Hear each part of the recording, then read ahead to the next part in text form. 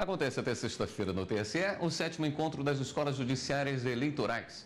O evento reúne representantes das EGES de todo o país. As escolas judiciárias eleitorais têm como objetivo formar, atualizar e especializar magistrados e demais servidores da Justiça Eleitoral.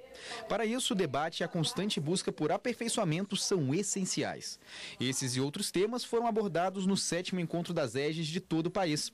Para a doutora Luciana Garcia, uma das palestrantes do evento, a busca por crescimento é imprescindível. A escola de formação, né, as EGES como um todo, elas têm um papel fundamental para o bom funcionamento do Poder Judiciário Eleitoral. Né? Servidores bem formados, servidores bem capacitados, magistrados bem capacitados, não há dúvida que há um melhor desempenho das suas atribuições e atendendo a cidadania, aos cidadãos de uma forma mais eficiente. A doutora Ana Cristina Monteiro, que também deu uma palestra no encontro das escolas judiciárias, ressaltou a importância de se estabelecer diretrizes para o ensino das EGES de todo o Brasil. Aprendemos não só com o professor, aprendemos uns com os outros, tendo como base a nossa prática, todo uh, o nosso suporte profissional, todas as nossas vivências.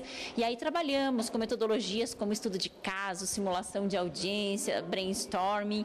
É uma modificação. O que a Infância está propondo é justamente uma modificação nessa educação judicial, para que nós possamos ter resultados melhores, resultados de excelência. O sétimo encontro das escolas judiciárias eleitorais continua até esta sexta-feira e é realizado na sede do Tribunal Superior Eleitoral